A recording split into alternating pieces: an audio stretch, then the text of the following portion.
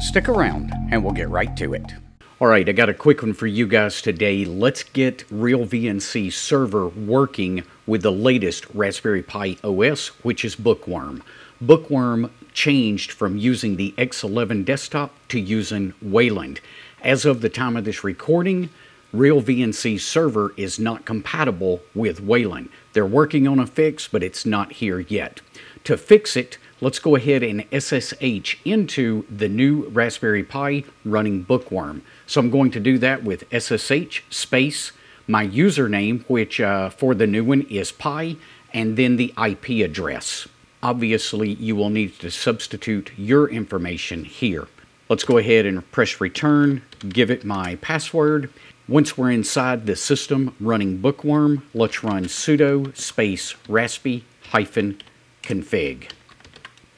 Go ahead and press return. That will bring you into this screen here.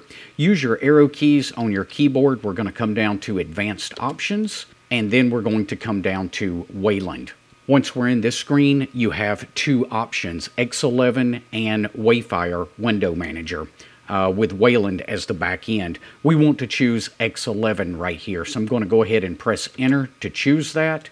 It will tell me that X11 is now active. I'll press enter again to say OK.